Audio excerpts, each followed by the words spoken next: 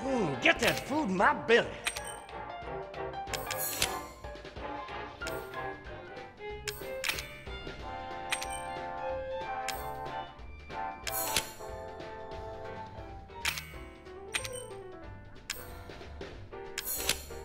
More!